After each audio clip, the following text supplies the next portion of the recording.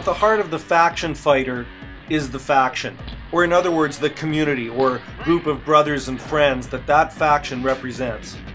If anyone is familiar with the dynamics of a relationship like that, they'll know straight away that one person setting himself up as the expert and telling the others what to do is not going to go over very well.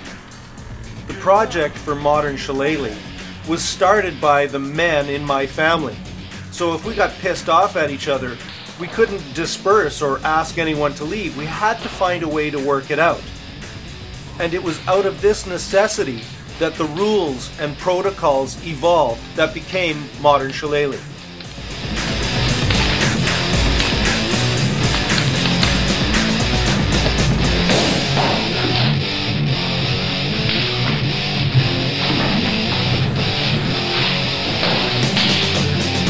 Let's take a look at some of the grips.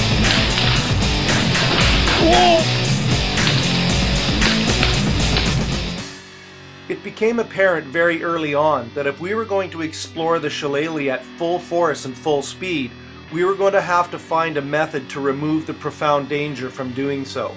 And to that end, we invented the MSP composite stick, which solved all of those problems for us.